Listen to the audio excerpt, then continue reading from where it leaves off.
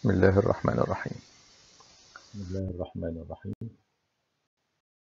معاكم الدكتور وليد الشربيني أستاذ ال tropical medicine وهنتكلم النهاردة عن محاضرة مهمة جدا في حياتكم العملية اللي هي ال viral hepatitis نقدر نقسم ال viral hepatitis لنوعين hepatotropic viruses hepatitis A B C D and E.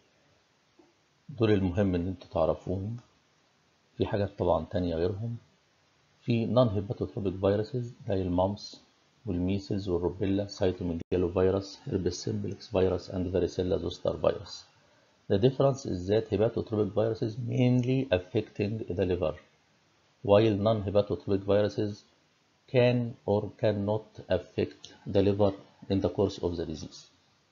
Other causes of uh, hepatitis may be bacterial, autoimmune, drugs, and so on. Acute viral hepatitis commonly occurs with hepatitis A and E, but rare in hepatitis C and B. Chronic viral hepatitis when viral hepatitis lasts more than six months and is common in hepatitis B, C, and D. Hepatotropic viruses can do the, the pathology in three ways either acute viral hepatitis, chronic viral hepatitis, and acute liver failure. Starting with acute viral hepatitis, three phases prodromal, icteric, and convalescent phase. Prodromal phase by symptoms the patient complains of jaundice, anorexia, nausea, abdominal pain, low-grade fever, malaise, myalgia lasts for 5 to 7 days. By examination, there is no jaundice, but there is right upper quadrant tenderness, mild soft hepatomegaly and splenomegaly, arthritis and rash. By laboratory investigations, the patient has more than tenfold elevation of liver enzymes. Phase means start of jaundice and improvement of general condition.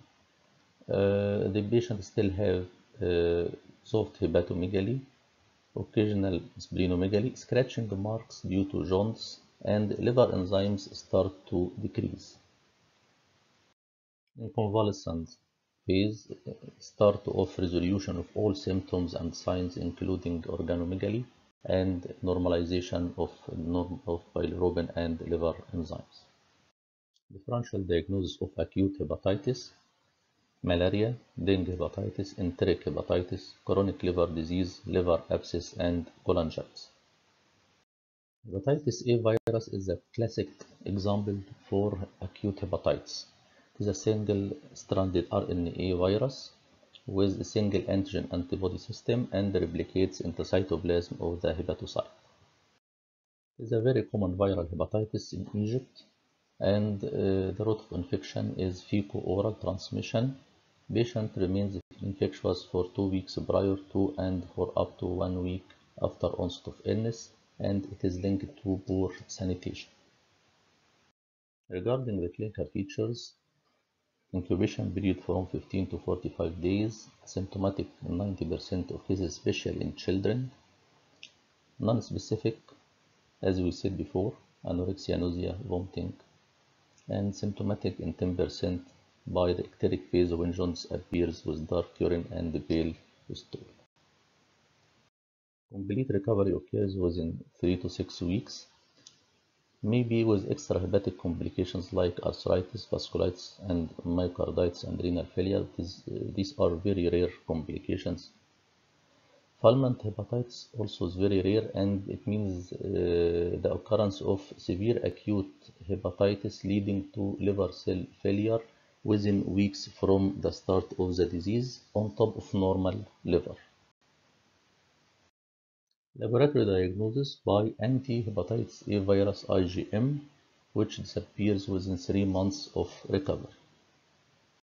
Hepatitis A can affect the patient with a typical presentation different from the typical presentation of the three phases mentioned before.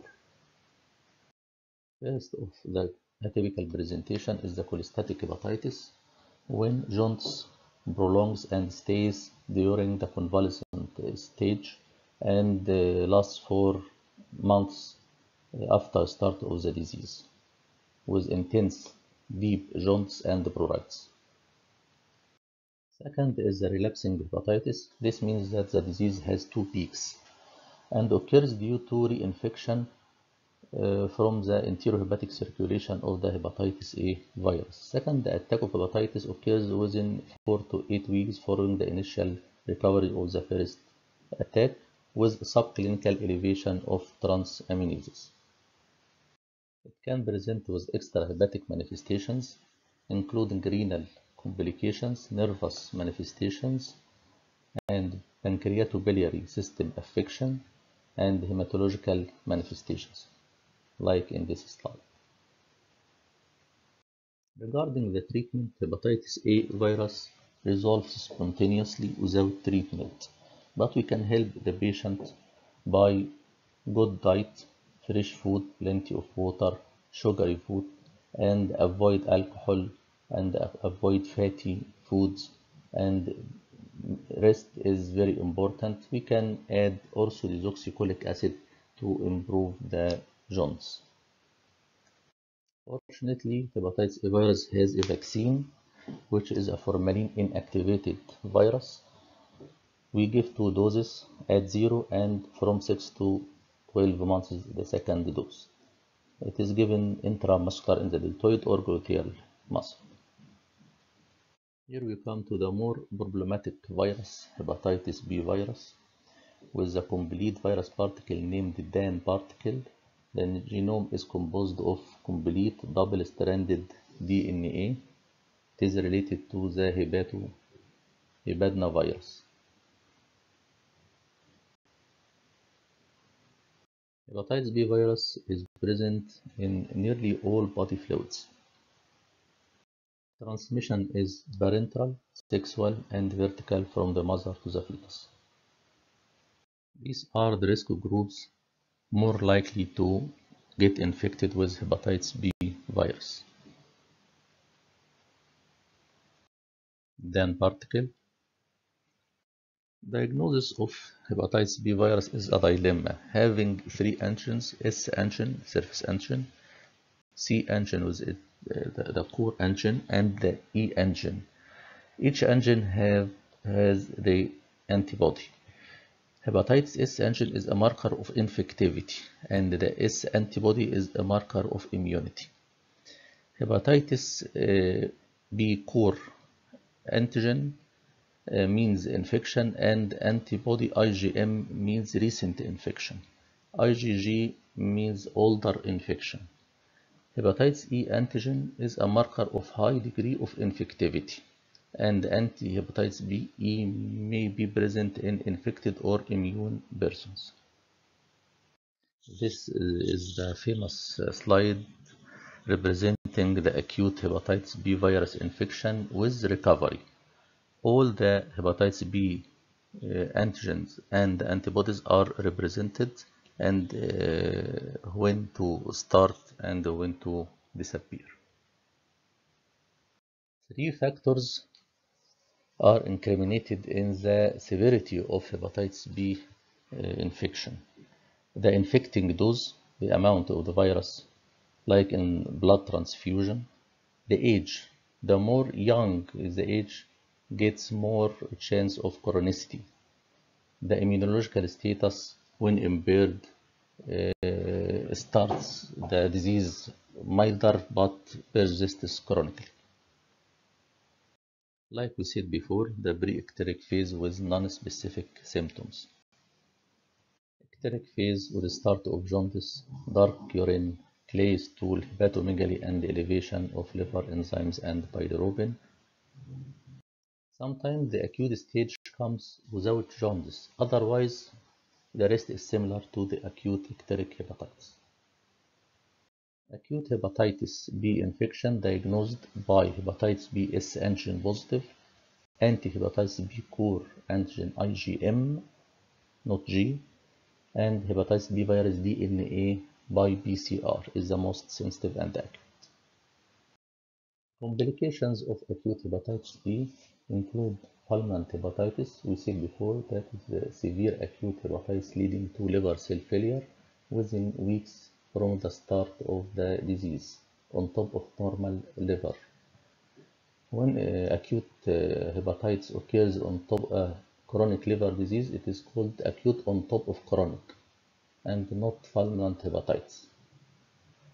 Uh, chronicity occurs following acute infection around 15% in adults and 20 and sorry 85% in young children.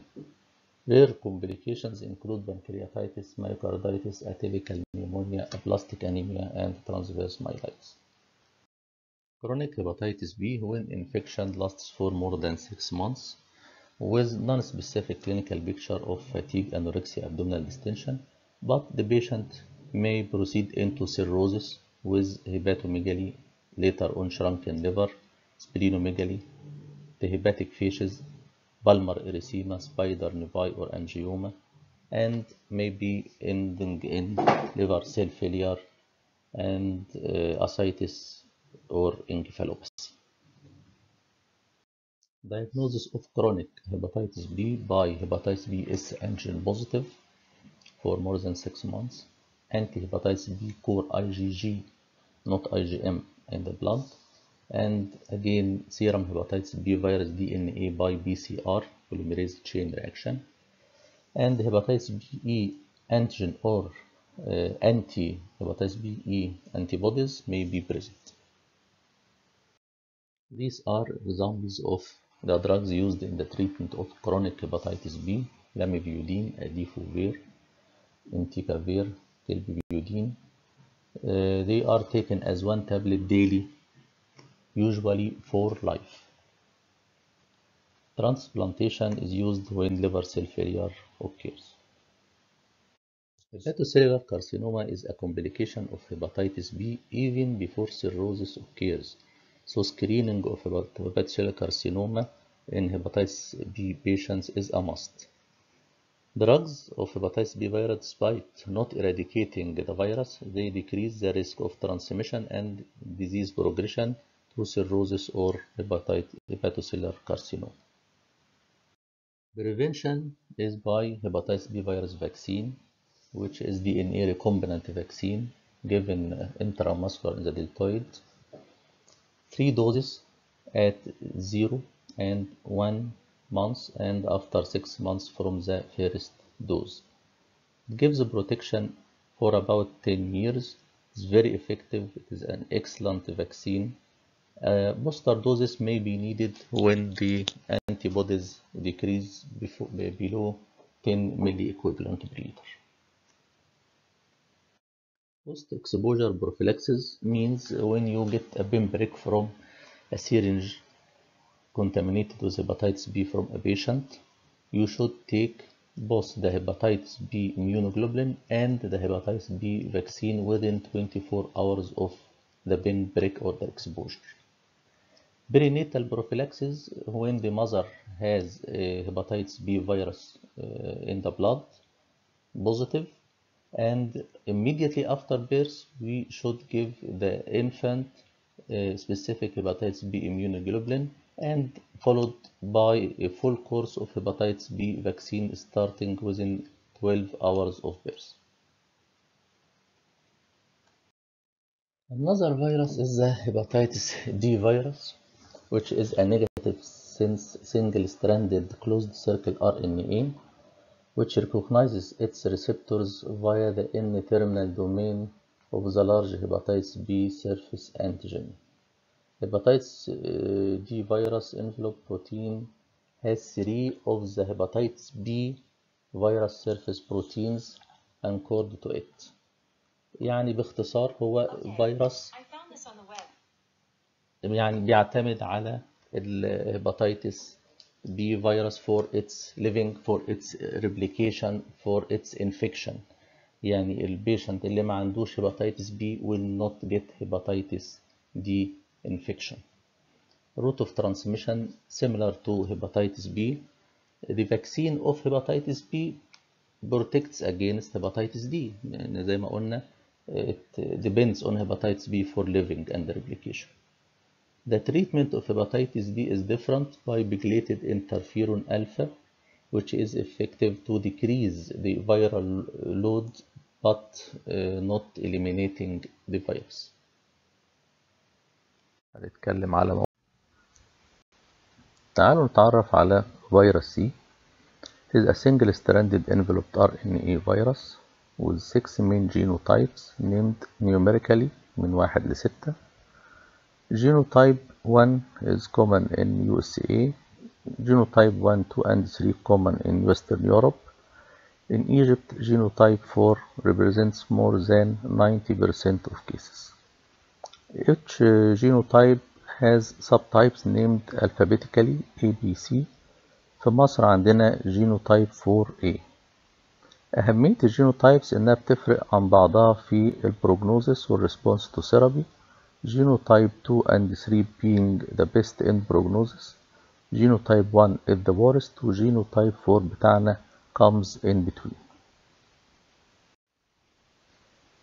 Detection of the virus By two means of detection. عندنا السكريننج وده بنستخدم له ELISA technique بيديتكت الانتي to the virus which appears within 3 to 12 weeks of infection و rarely up to 1 year. لكن earlier بنقدر ان إحنا نعمل ديتكشن للار ان اي بتاع الفيروس using PCR technique ودي الكونفirmatory تيست طبعا ال confirmatory test ادق من ال test بتاعه ال ELISA ودي لها نوعين نوع qualitative بيدينا positive أو negative والنوع التاني quantitative وده بيطلع لنا count number لكن الحقيقة إحنا بنستخدم الوقت ال quantitative مش ال qualitative لأنها more accurate ما فيهاش false negative results مش علشان الرقم اللي بيطلع. يعني الرقم اللي ممكن نشوفه في ال report بتاع التحليل الحقيقة ملوش أي قيمة في ال diagnosis ولا في decide to decide how to whom to treat. عشان نفهم ال natural history of the disease لما يحصل infection ل patient بالفيروس rarely causes acute hepatitis.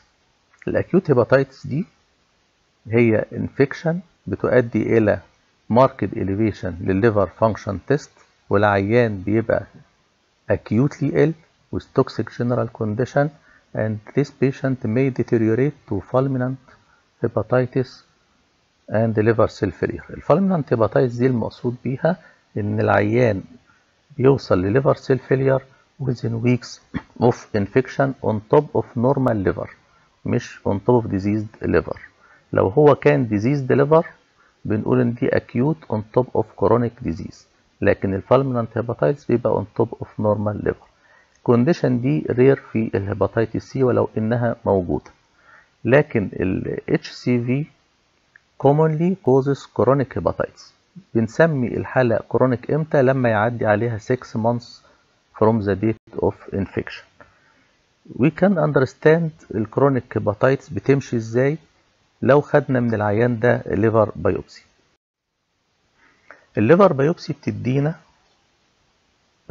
رقمين رقم بيمثل ال activity اللي هي ال inflammation and necrosis ورقم بيدينا ال score بتاع ال fibrosis وإحنا بنستخدم هنا حاجة اسمها METAVIR score ال METAVIR score بتبدأ من 0 ل 4 سواء بالنسبة لل activity أو بالنسبة لل fibrosis أنه فيهم الأهم ال fibrosis score الحقيقة هو اللي على أساسه بنعمل staging لل liver و staging لحالة العيان.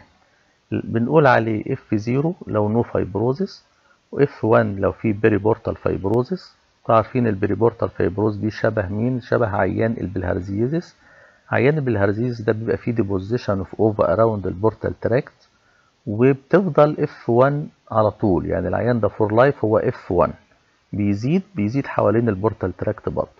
ما عندوش parenchymatous liver disease لأن ما فيش infection لل hepatocyte إنما في ال hepatitis C في infection لل hepatocyte عشان كده بيبقى فيه necrosis وال necrosis ده بيبقى بيحصل له repair بال fibrosis عشان كده ممكن يحصل extension لل fibrosis beyond ال portal tract ودي بتدينا ال F2 لو ال fibrosis زاد كمان عن كده ممكن يعمل لنا ال F3 ودي اللي بنسميها horseshoe أو U-shaped fibrous tissue بيبقى فيه bridging fibrosis يعني فايبروزس extending from portal tract to another ويدينا ال horseshoe أو ال U-shaped لكن ال frank cirrhosis ده اللي هو F4 يعني ما قبل F4 ده مش cirrhosis ده deposition of fibrous tissue.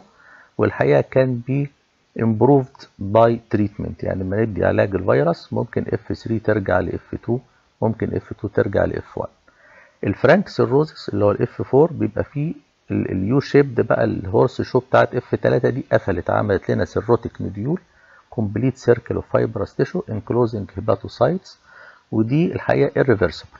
زائد إنها بتقلل ال blood supply اللي داخلة لل cirrhotic nodules دي. ورغم إن إحنا ممكن نعالج الفيروس لكن still ال cirrhosis can progress into liver cell failure and can progress to hepatocellular carcinoma. لكن ده مش معناه إن إحنا ما بنعالجش ال cirrhosis بنعالجهم في ال early stage of cirrhosis وده بيقلل لنا ال progression of the disease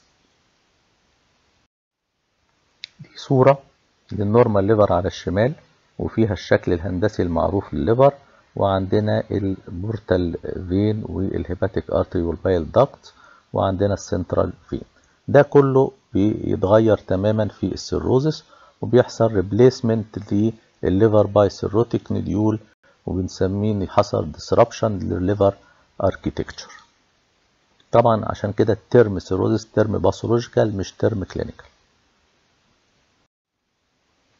إيه ال modes of transmission ال modes of transmission mainly parenteral سواء iatrogenic لو إحنا ما عقمناش كويس. طبعا التعقيم قلل خالص ال iatrogenic transmission of the disease ال blood وال blood products برضو كانت بتسبب mode of infection جامد لكن ده اتغير برضو بال screening of blood and blood products before transfusion ال occupational exposure اللي إحنا كدكاترة ممكن نتعرض ليها دي ال parenteral لكن في means تانية of transmission زي ال sexual وال perinatal exposure ودي ال transmission فيها لو بيوصل من واحد لتلاتة في المية بس. دي شبه مين؟ شبه ال pin prick. برضو لو حد مننا اتعرض ل pin prick contaminated من HCV patient برضو ال transmission rate بتبقى around الواحد في المية. ال lactation ده very rare إن يحصل transmission clinically العيان بتاع hepatitis C is asymptomatic. معظم ال patients have no symptoms وبيبقوا accidentally discovered. علشان كده الدولة عملت screening لكل ال population والعيان ممكن بعد كده late in the disease يبقى presented بشوية حاجات بسيطة زي ال fatigue ال muscle pain intermittent low grade fever أو ممكن يجيلنا ب GIT symptoms زي ال indigestion ال hyperacidity وال distension دي حاجات ممكن تحصل early في ال disease لكن لو العيان دخل في cirrhosis ممكن يبقى presented بحاجات اخطر شوية زي ال jaundice ال itching dark urine edema lower limb bleeding tendencies and abdominal enlargement due to ascites رغم ان ال hepatitis C is a hepatotropic virus يعني mainly affecting the liver لكن هو له many extra hepatic manifestations و no organ is immune of this manifestations.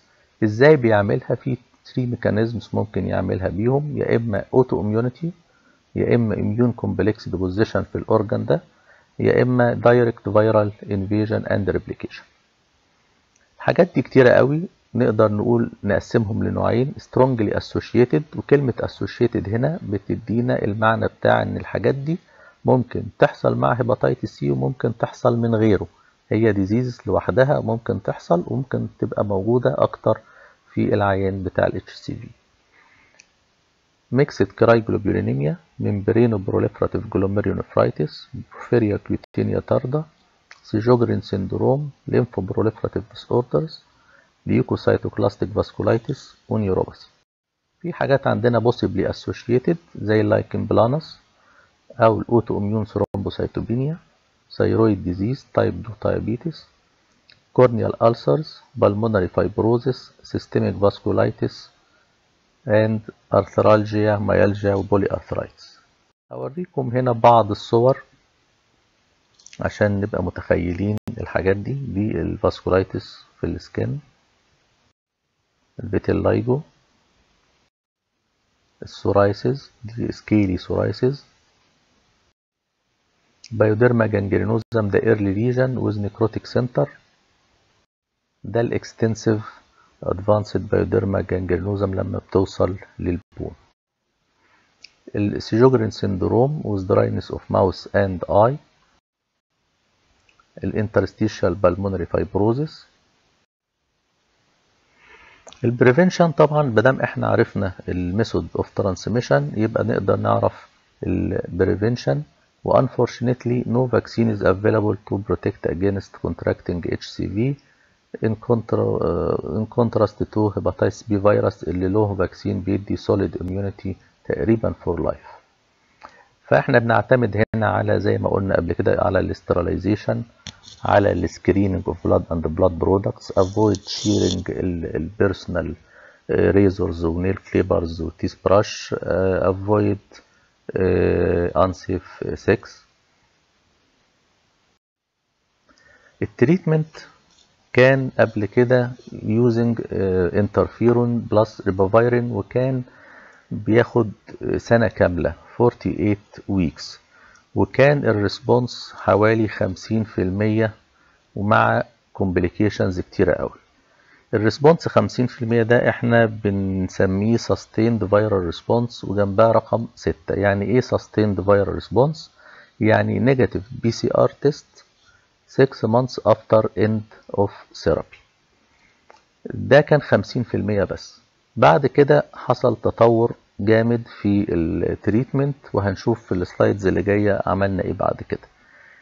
مين العيان اللي هنديله treatment all patients with measurable levels of HCV RNA should be considered potential candidate for therapy يعني إحنا مش هنسيب حد إلا إذا كان عنده advanced liver disease و hepato و liver cell failure أو عنده hepatocellular carcinoma غير كده بندي ال treatment بعد كده ظهر drug تاني برضو direct acting antiviral بيشتغل على certain site في ال RNA بتاع ال HCV وعملنا combination بين ال sofosbuvir وال daclatasvir plus or minus ال ribavirin وده رفع ال sustained viral response من 70% ل above 95% لكن الكلام ده بالنسبة لل non cirrhotic patients زي ما إحنا شايفين هنا ال cirrhotic patients بيبقى ال response بتاعهم أقل وده لازم نبقى عارفين حاجة اسمها Child-Pugh score ال Child-Pugh score أو classification ده بنطبقه على ال cirrhotic patient بس. يعني ما ينفعش عيان مش cirrhotic نقول هو Child A ولا B ولا C. طبعا تشايلد C ده اللي هو عيان دخل في advanced liver disease و liver cell failure والعيان ده الحقيقة بيبقى غالبا excluded من ال treatment و excluded كمان من أي invasive technique أو operation عشان ال mortality rate بتبقى عالية قوي. هنا في ال combination اللي إحنا قلنا عليه ال cirrhotic patient بيجيبوا نتيجة 70% بس. حتى لو زودنا مدة العلاج من 12 week ل 24 week ظهرت بعد كده أدوية تانية زي ال ledipasvir وعملنا combination مع ال sofosbuvir وفي combination تاني برضو بين ال sofosbuvir اللي هو يعتبر الجوكر يعني في كل ال combinations تقريبا اللي بتستخدم حاليا مع ال velpatasvir والاتنين دول يعتبروا pan-genotypic بيستخدموا في كل ال genotypes of hepatitis C وبيدونا نتيجة فوق ال 98% في ال non cirrhotic patients كده يبقى انتهينا من محاضرة ال HCV وأتمنى إن تكونوا استفدتوا منها وبالتوفيق إن شاء الله. another virus is hepatitis E virus هو قريب شوية من ال hepatitis A virus. ووتر أور فود سبلايز كونتامينيتد وسفيسز هي المصدر الرئيسي للإنفكشن. And uh, it was discovered in 1980. Tubation periods from 2 to 9 weeks. Following the incubation period, a self-limiting acute viral hepatitis occurs like hepatitis A. The acute infection is followed by recovery زي ما قلنا self limited. No case of chronic disease has been reported. Hepatitis E is reported mainly among young adults aged uh, from 14 to 45 years. لو تفتكروا hepatitis A كان more common in young children. Despite its limiting uh, infection and self-resolving, it is dangerous in pregnant females and can cause fulminant form of acute disease. Hepatitis E infection during pregnancy is uh, can cause intrauterine death of the fetus, can cause abortion and high perinatal morbidity and mortality. We can diagnose hepatitis E by three methods. Either by detecting the antibodies, IgM or IgG, by different techniques like ELISA, Western blot, and so. The second method is by the PCR to detect the RNA uh, in serum or stools. The last way is by immune electron microscopy to visualize the viral particles in feces. Treatment of hepatitis E usually does not require antiviral therapy. Most cases resolve spontaneously, but some patients go to uh, acute liver failure. We use the drug ribavirin by uh, early therapy in acute cases to shorten the course of the disease and to reduce overall morbidity. Ribavirin treatment may be considered in cases of severe acute hepatitis E, not the usual cases. ال slide دي بتلخص hepatitis E والحقيقة بتلخص قيمة ال good sanitation في حياتنا اللي إحنا اصبحنا عايشين فيها من أيام ما الكورونا طلعت اتمنى لكم التوفيق و thank you for good listening thank you